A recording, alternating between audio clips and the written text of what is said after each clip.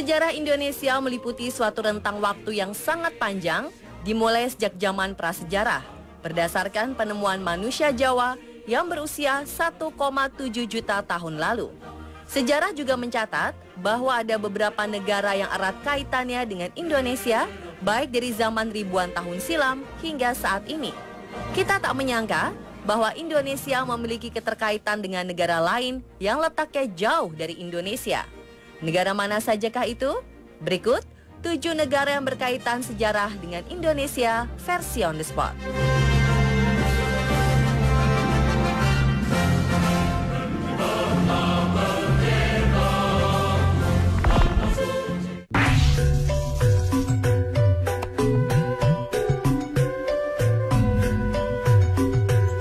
Hubungan Indonesia dengan Suriname bisa dibilang adalah hubungan kakak adik. Ini karena sebagian dari penduduk Suriname berasal dari penduduk Indonesia. Terlahir dari rahim yang sama, yakni rahim Ibu Pertiwi, sayangnya kita harus berpisah karena keadaan.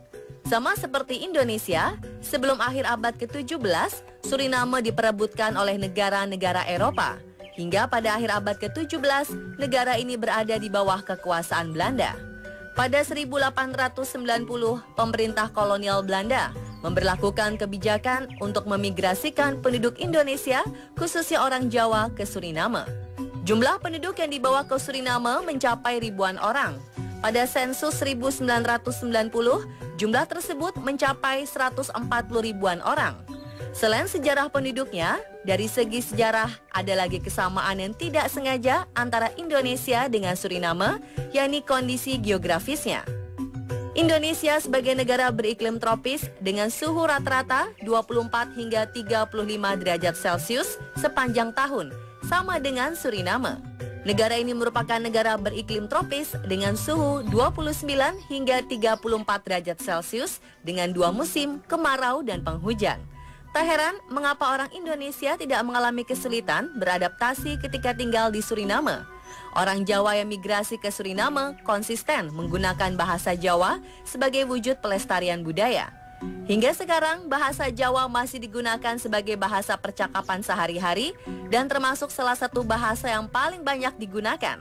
Dari segi politik, salah satu warga Suriname asal Banyumas bernama Raymond Sapun sempat mencalonkan diri menjadi presiden di sana.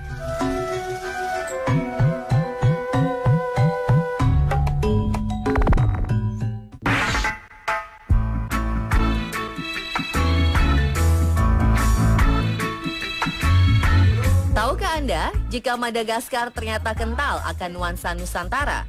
Ilmuwan bahkan memperkirakan negara kepulauan ini ditemukan oleh seorang perempuan Indonesia. Menurut catatan sejarah, Pulau Madagaskar pertama kali dihuni oleh pendatang asal Indonesia yang diyakini berlayar sejauh 8.000 km dari Kalimantan dan Sulawesi. Ilmuwan memang belum menemukan bukti fisik kecuali hasil uji mitokondria DNA yang mengungkap garis keturunan penduduk Madagaskar berasal dari Indonesia. Tiga tahun lalu, peneliti Universitas Massey Selandia Baru menganalisa DNA milik 266 orang di sana. Dalam kelompok tersebut, mereka menemukan fakta 22% memiliki tanda genetik orang Indonesia. Jika sampel DNA ini benar, diperkirakan ada sekitar 30 perempuan Indonesia yang ikut membentuk populasi awal di Madagaskar. Bukti lainnya, pengaruh Nusantara di Madagaskar bisa ditemui pada sektor pertanian yang banyak menggunakan metode dan teknologi yang serupa dengan di Indonesia. Menurut catatan sejarah, pendatang baru ini mulai menanami padi dan talas di dataran tinggi Madagaskar sejak abad ke-6. Selain itu, tidak seperti rumah tradisional Afrika pada umumnya yang berbentuk bulat, kediaman penduduk asli Madagaskar lebih menyerupai suku-suku di Asia Tenggara yang ini berbentuk kotak dengan atap segitiga.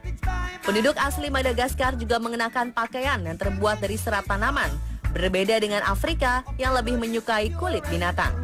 Kendati dikuasai oleh bahasa Prancis, penduduk Madagaskar masih memelihara bahasa sendiri, yakni bahasa Malagasi yang masih termasuk rumpun bahasa Melayu Polinesia. Di dalamnya terkandung pengaruh bahasa lokal di Indonesia, yakni Barito Timur, Jawa, dan Melayu. Nasi juga menjadi makanan pokok penduduk Madagaskar. Wah, ternyata Madagaskar Indonesia banget ya.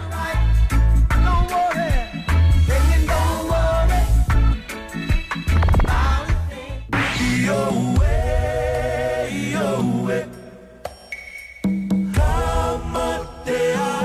Tidak banyak yang tahu hubungan erat antara Hawaii dengan Indonesia, khususnya Jawa. Padahal menurut George Armitage, dalam A Brief History of Hawaii, ada hubungan khusus antara dua tempat yang berjarak 14 jam penerbangan ini.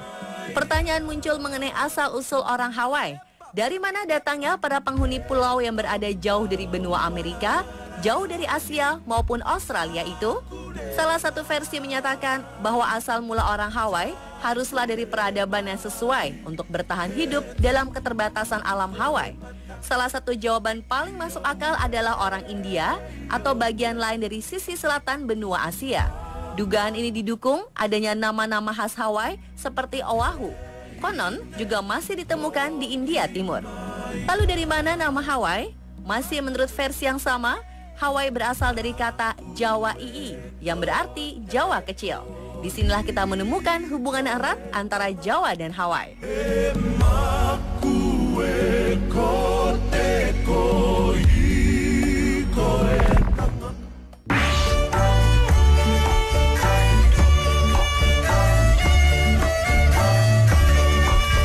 Ada banyak alasan mengapa Malaysia adalah negara yang punya hubungan paling dekat dengan Indonesia. Pertama, karena kita masih satu ras atau serumpun. Kedua, karena faktor hubungan darah, hampir sebagian orang Malaysia masih memiliki hubungan darah dengan Indonesia karena nenek moyangnya dahulu kebanyakan berasal dari Indonesia. Baik itu suku Minang, suku Bugis, Aceh, Banjar, Jawa, Medan, dan suku lainnya. Bahkan Perdana Menteri kedua Malaysia, Tun Razak berasal dari keturunan Raja Goa Sulawesi. Jadi, jika kita ke Malaysia, kita akan menemukan banyak persamaan budaya, baik berupa makanan maupun adat budaya lainnya. Ketiga adalah faktor bahasa. Bahasa Indonesia dan bahasa Malaysia memiliki banyak persamaan. Walau menurut orang Malaysia, bahasa Indonesia lebih baku daripada bahasa Malaysia. Tetapi bahasa Indonesia pun diambil dari suku Riau yang masih beretnis Melayu. Keempat, sama-sama mayoritas penduduknya beragama Muslim. Kelima, karena dahulu kala pada zaman Sriwijaya dan Majapahit, Malaysia dan Indonesia adalah satu Nusantara, sehingga ikatan sejarah ini masih ada hingga sekarang. Jangan pisahkan lidah kami, jangan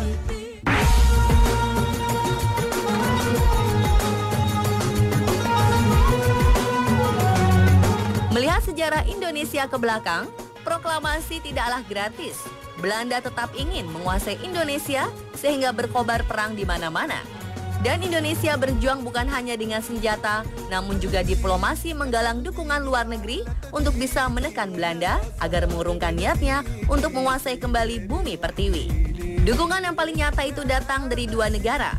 Pertama adalah Mesir, Begitu kemerdekaan Indonesia tersebar ke luar negeri, pemerintah Mesir langsung mengirim utusannya di Bombay ke Yogyakarta yang ketika itu merupakan ibu kota RI sementara. Adalah Muhammad Abdul Mutnim yang dengan berani menembus blokade Belanda. Beliau menyampaikan dokumen resmi pemerintah Mesir dalam mengakui kemerdekaan RI. Ini pertama kalinya dalam sejarah utusan resmi suatu negara mempertaruhkan nyawanya untuk menyampaikan dukungan kemerdekaan. Kemudian dukungan Mesir tersebut dilanjutkan dengan perjanjian persahabatan Indonesia dan Mesir. Ketika penandatanganan dokumen kerjasama ini di Kairo, kedutaan Belanda di Mesir menyerbu masuk ke dalam ruangan kerja Perdana Menteri Mesir untuk mengajukan protes. Namun bersikeras Mesir mengabaikan protes tersebut. Pengakuan Mesir ini terjadi karena kedekatan tokoh-tokoh perjuangan kemerdekaan RI dengan tokoh Mesir, seperti Agus Salim, Sultan Syahrir, M. Natsir dengan tokoh pergerakan IM. Dukungan ini disambut dengan hangat dan bahagia oleh Soekarno. Sedangkan pengakuan yang diberikan oleh rakyat Palestina pun sangat heroik. Selain mengakui kemerdekaan tanah air, ketika itu pemimpin Palestina, Muhammad Ali Taher, menyumbangkan seluruh tabungannya untuk perjuangan mempertahankan kemerdekaan RI.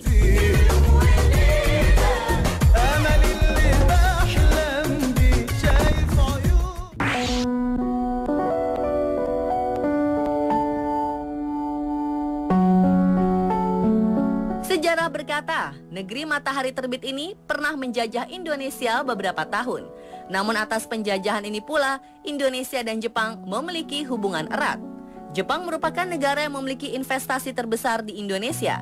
Selain itu, Jepang merupakan tujuan ekspor terbesar Indonesia. Indonesia menjalin kerjasama dengan Jepang dalam segala hal. Kerjasama Indonesia-Jepang telah berjalan kurang lebih selama 58 tahun sejak 1958. Diplomasi Indonesia terhadap Jepang adalah salah satu contoh keberhasilan diplomasi yang dilakukan oleh Indonesia. Dengan adanya kerjasama dengan negara maju seperti Jepang, menguntungkan bagi negara berkembang seperti Indonesia. Begitu pula sebaliknya, Jepang juga membutuhkan kerjasama dengan Indonesia untuk mencapai kepentingan negaranya. Kita saling bekerja sama di berbagai sektor untuk memenuhi kepentingan masing-masing dan menjaga hubungan baik antar negara.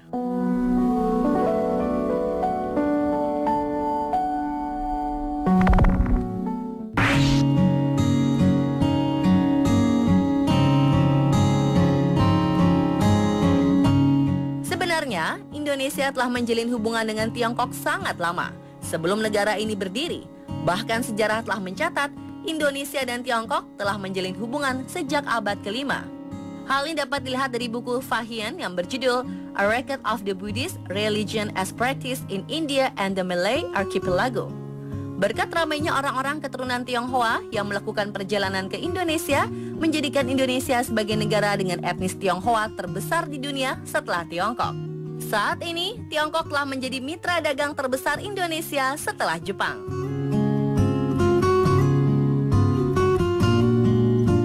Dan itulah pemirsa, tujuh negara yang berkaitan dengan sejarah Indonesia versi on the spot.